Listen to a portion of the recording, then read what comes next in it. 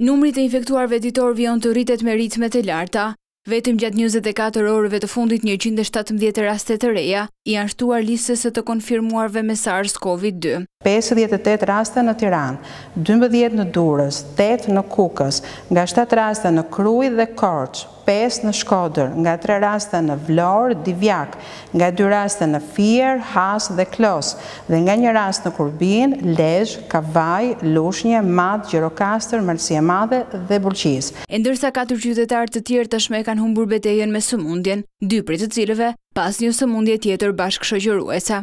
Fatkeqësisht, në njëzet e katër orët e fundit, në spitalin Shefqet Ndroqi kanë humbur jetën katër qytetarë, një tetëdhjetë e katër vjeçare nga Shkodra, një shtatëdhjetë e pesë vjeçar nga Tirana, pa sëmundje të tjera, si dhe dy qytetarë nga Tirana me sëmundje bashkëshoqëruese, një shtatëdhjetë e tetë vjeçar dhe një tetëdhjetë e dy vjeçar. Ajo që mbetet shqetësuese është situata në spitalet Covid, pasi njëzet e dy pacientë ndodhen në terapi intensive. Aktualisht në spitalin Infektiv dhe Shefqet Ndroqi po trajtohen njëqind e njëzet e tre pacientë, njëzet e dy janë në terapi intensive dhe shtatë pacientë janë të intubuar.